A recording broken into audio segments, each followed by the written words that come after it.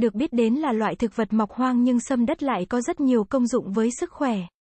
Lá và rễ củ, sâm đất có tính dược liệu cao thường xuất hiện trong các bài thuốc như chữa vàng da, thiếu máu, chữa hen suyễn, các bệnh về gan, ngoài cách sử dụng truyền thống là làm thuốc. Sâm đất còn dùng để ngâm rượu, cách ngâm rượu sâm đất cũng rất đơn giản, không chỉ là thức đồ uống có cồn giải trí. Rượu sâm đất còn rất bổ dưỡng với sức khỏe, cụ thể như thế nào, mời các bạn theo dõi video này nhé. Cây sâm đất, cây dược liệu quý mọc hoang, sâm đất là loại cây mọc tự nhiên, trước khi biết đến các dược tính của củ sâm đất. Thì lá sâm đất được người dân dùng làm thực phẩm, nấu ăn từ rất lâu rồi, ngâm rượu sâm đất có thể dùng củ tươi hay khô đều được. Đặc điểm, sâm đất thuộc loại cây thân thảo, sống rất dai, thân nhiều lông chỉ cao khoảng 50cm. Mọc tỏa ra sát đất, lá sâm đất có hình bầu dục, mặt lá có lông nhưng không nhiều, lá mọc cân đối. Mép lượn sóng, từ tháng 4 đến tháng 6 là khoảng thấy trong cây ra hoa và quả, dễ xoắn, phình to thành củ đây là bộ phận bổ dưỡng và được săn lùng nhiều nhất. Thành phần hóa học trong sâm đất, theo đông y, sâm đất có tính bình, vị ngọt chứa hoạt chất pectin. Chứa dẫn xuất phenolic có điều trị hiệu quả trong hỗ trợ điều trị suy nhược cơ thể và bệnh ho. Ngoài cách sử dụng trực tiếp trong các bài thuốc thì ngâm rượu sâm đất cũng là cách sử dụng giúp phát huy hiệu quả cao nhất. Các công dụng của cây sâm đất, sâm đất thường được biết đến là thực phẩm nhiều hơn là dược liệu. Lá sâm đất chế biến được rất nhiều món ăn ngon, củ sâm đất chủ yếu để ngâm rượu. Sâm đất được sử dụng rộng rãi vì có rất nhiều công dụng kể đến như hỗ trợ điều trị mụn nhọt, hỗ trợ điều trị sỏi thận, cải thiện tình trạng chóng mặt, mệt mỏi và choáng váng bổ huyết, hỗ trợ điều trị kết lị, táo bón hỗ trợ điều trị chứng đi tiểu nhiều lần, hỗ trợ điều trị bệnh tiểu đường. Để đạt được hiệu quả cao nhất người ta thường ngâm rượu sâm đất, rượu sâm đất ngâm nhanh được uống. Rượu lại ngon nên được rất nhiều người ưa chuộng, hai cách ngâm rượu sâm đất tại nhà. Ngâm rượu sâm đất không cần cầu kỳ, chỉ cần sâm với rượu là đã có bình rượu vừa ngon vừa bổ. Cách thực hiện cũng rất đơn giản nên thường sẽ tự làm tại nhà thay vì mua các bình rượu sẵn.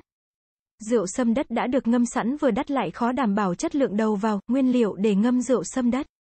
1 kg củ cây sâm đất tươi, 1 kg củ cây sâm đất khô, 5 lít rượu nếp trắng ngon để ngâm củ tươi hoặc 20 lít rượu để ngâm củ khô. Bình thủy tinh hoặc chum sành, sâm đất nên chọn những củ tươi, giòn, sáng màu không bị sâu bỏ. Nấm mốc củ càng to tính dược liệu càng cao, rượu nếp trắng từ 35 đến 40 độ ngâm là chuẩn nhất. Nếu không có rượu nếp có thể dùng rượu tẻ cũng được tuy nhiên rượu thành phẩm có thể không được ngon. Không dùng các loại rượu khác, cách một ngâm rượu sâm đất tươi, bước một sơ chế củ sâm đất phải rửa sạch bằng nước.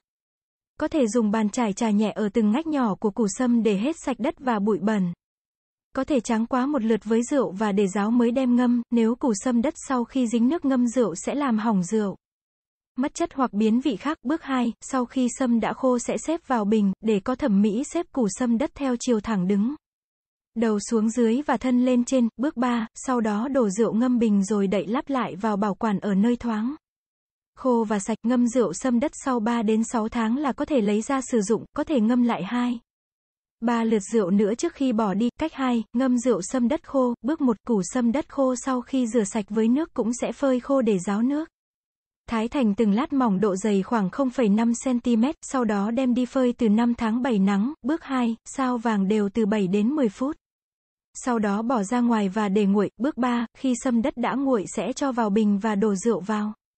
Một số lưu ý để có bình rượu sâm đất ngon, củ sâm phải là loại sâm tươi hoặc sâm được bảo quản trong ngăn mát tủ lạnh dưới một tháng. Củ sâm tươi khi ngâm nên để nguyên dạng, không nên cắt mỏng hoặc thái lát, trong suốt 3 đến 6 tháng chờ rượu nên thường xuyên kiểm tra xem rượu có bị ẩm.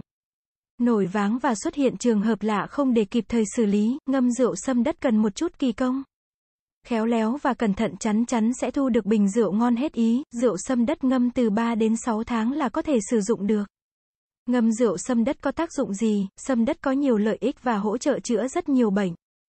Rượu sâm đất cũng thế, một số công dụng của được nhắc đến nhiều như bồi bổ cơ thể, tăng cường sức đề kháng lợi tiểu, nhuận phế, phòng chống suy nhược cơ thể, giúp ăn ngon miệng. Ngủ sâu giấc, hỗ trợ điều trị các bệnh liên quan đến xương khớp như sưng, viêm, giống như hầu hết các dược liệu khác khi dùng để ngâm rượu sẽ đều có những dược tính nhất định. Cách sử dụng rượu sâm đất tốt nhất dù có nhiều công dụng với sức khỏe tuy nhiên cũng không nên lạm dụng mà sử dụng quá nhiều. Rượu chỉ nên sử dụng 2 lần mỗi ngày, không quá 50ml mỗi ngày, nên uống trong bữa ăn, không uống khi bụng đói.